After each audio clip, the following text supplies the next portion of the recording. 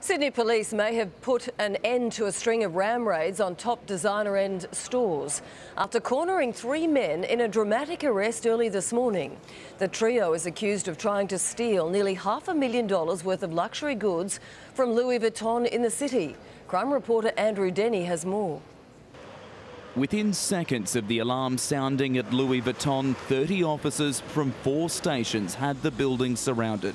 Police responded quickly to those premises um, in relation to intruders within the building. Three men armed with hammers had smashed their way in through a side door, clearing cabinets and shelves of designer clothing, handbags and jewellery. But police were closing in. With the assistance of the dog unit, uh, a systematic search of the premises was conducted. Police spent nearly an hour chasing the group through a rat maze of interconnected fire escapes and elevators until they finally found them in an underground car park trying to steal another vehicle.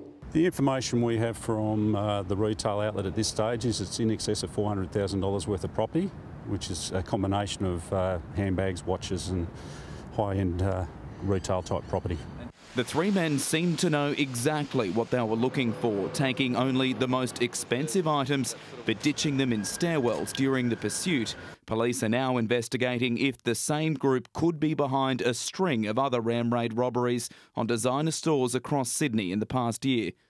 Bassam Hijazi, Adam Achuri and Naif Chayuk faced court this afternoon but were denied bail. Hijazi was also wounded in a targeted gangland shooting at Greenacre last year. Nick, have your clients said what they were doing last night? Sorry, thank you. They'll front court again next month. Andrew Denney, 10 News.